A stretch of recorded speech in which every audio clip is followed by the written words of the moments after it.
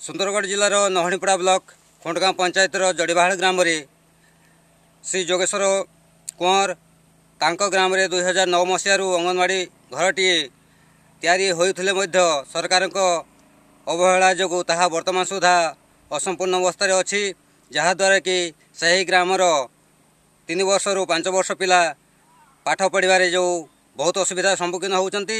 ଆମର ନାତୁଣୀମାନେ ଅଙ୍ଗନବାଡ଼ି ସେଣ୍ଟର ଜଡ଼ିବାହାଡ଼ର ନାମିତ ଥିବା ଜଡ଼ି ଗଦାପାଲି ମୋଜାରେ ଅବସ୍ଥିତ। ସେଠି ଗୋଟେ କିଲୋମିଟର ଏଠି ବାଟ ତାପରେ ବନ୍ଧ ଗୋଟେ ପ୍ରତିବନ୍ଧକ ତାପରେ ସରକାର ବାହାଦୁର ଆମର ଜଡ଼ିବାହାଡ଼ରେ ଗୋଟେ ଅଙ୍ଗନବାଡ଼ି ସେଣ୍ଟର କଲେ ତାର ଅର୍ଦ୍ଧ ଖଣ୍ଡିଆ ହେଇକିରି ଆଉ ପୁରା ସରି ନାହିଁ କାମ ସିଏ ବନ୍ଦ ହେଇକି ରହିଛି। କେନ୍ କାରଣରୁ ଆମେ କହିପାରିବୁ ନାହିଁ ଆଉ ତାର ଉପରେ ଏଇଟା ଆଜକୁ ତିନି ବର୍ଷ ହେଲା ଆଉ ସେଇ ସାଙ୍ଗର ଅଙ୍ଗନବାଡ଼ି ସେଣ୍ଟର ଗୁଡ଼ାକ ସବୁ ତିଆରି ହେଇ ସରିକିରି ଛୁଆମାନେ ସବୁ ପଢ଼ିକି ଯାଉଛନ୍ତି।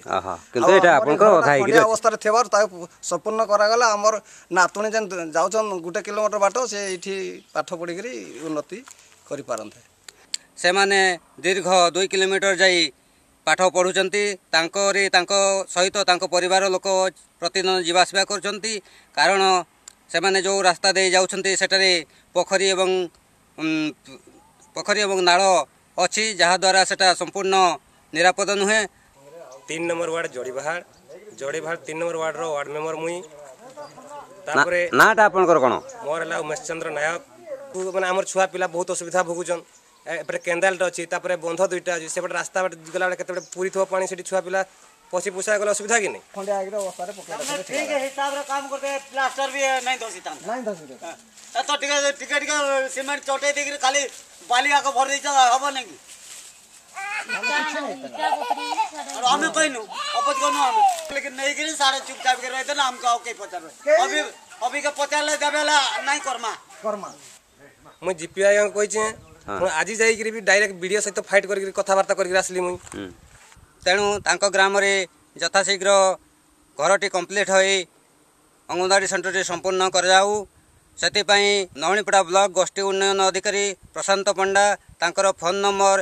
Zero nine four three nine zero two six two seven ସିକ୍ସକୁ call କରି ତାଙ୍କ ଉପରେ ଚାପ ସୃଷ୍ଟି କରାଯାଉ ମୁଁ ପୂର୍ଣ୍ଣଚନ୍ଦ୍ର ନାୟକ ଜିଲ୍ଲା Sundargarh Odisha India on hot ପାଇଁ